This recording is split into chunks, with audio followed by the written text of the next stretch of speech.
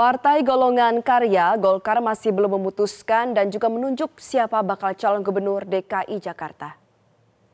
Hal tersebut disampaikan Ketua Dewan Pembina Badan Pemilu Partai Golkar Idrus Marhamdi di kantor Indonesia Maju Center, Manggarai, Jakarta Pusat. Menurutnya nama Ridwan Kamil masuk dalam rekomendasi nama gubernur di DKI Jakarta dan juga Jawa Barat. Oleh karena itu Partai Golkar masih terus berkoordinasi dan juga melakukan diskusi mengenai penempatan mantan gubernur Jawa Barat tersebut. Partai Golkar juga masih menunggu hasil survei yang berlangsung sampai Juli mendatang. Idrus menyampaikan bahwa Ridwan Kamil mendapat dua surat penugasan, yaitu di daerah khusus DKI Jakarta dan Provinsi Jawa Barat.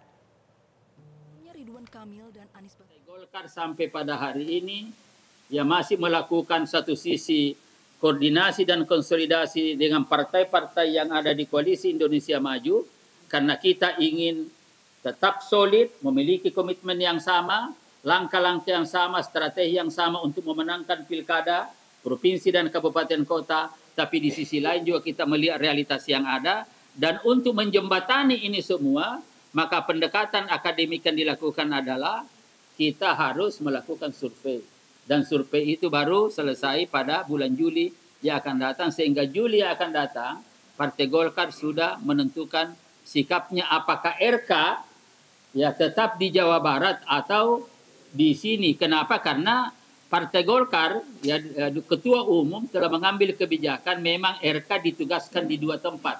Jadi RK itu mendapat dua surat tugas. Jelajahi cara baru mendapatkan informasi. Download Metro TV Extend sekarang.